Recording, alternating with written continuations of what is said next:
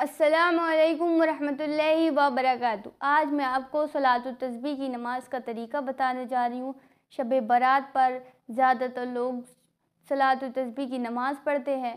تو آج میں اسی کا طریقہ آپ کو بتانے جا رہی ہوں۔ آپ کو سب سے پہلے نیت کرنی ہے۔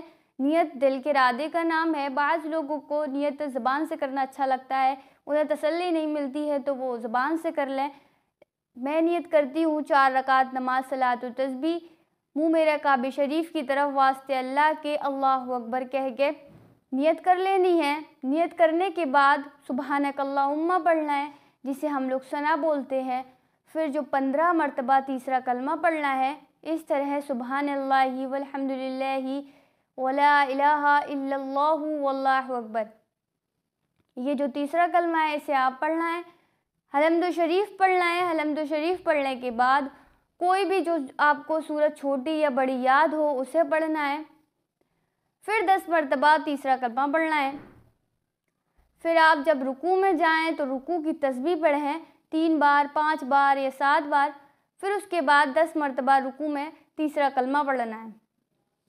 پھر رکوع سے جب کھڑے ہوتے ہیں، جسے ہم لوگ قومہ بولتے ہیں، اس میں دس مرتبہ تیسرا کلمہ پڑھنا ہے۔ پھر سجدے میں جب ہم جاتے ہیں تو سجدے کی تصویر پڑھنا ہے۔ تین بار، پانچ بار، سات بار، پھر اس کے بعد دس مرتبہ تیسرا کلمہ پڑھنا ہے۔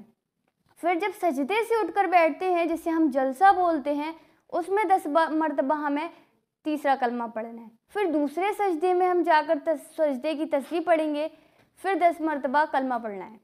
اس طرح سے یہ آپ کی ایک رکت کمپلیٹ ہو جائے گی، پھر دوسری رکت میں آپ اللہ اکبر کہہ کر کھڑے ہو جائیں گے، پھر تی، پندرہ مرتبہ تیسرا کلمہ پڑھنا ہے، پھر اس کے بعد سورہ فاتحہ پڑھنا ہے، پھر کوئی اور سی صورت پڑھ لینی ہے، پھر اس کے بعد دس مرتبہ تیسرا کلمہ پڑھنا ہے، پھر رکوع میں جا کر تیسرا کلمہ پڑھنا ہے، پھر رکوع سے کھڑے ہو کر تیسرا کلمہ پڑھنا ہے، پھر سجدے میں جا کر تیسرا کلمہ پڑھنا ہے پھر سجدے سے جب اٹھ کر بیٹھتے ہیں، اس میں دس مرتبہ تیسرا کلمہ پڑھنا ہے، پھر سجدے میں جا کر تیسرا کلمہ پڑھنا ہے۔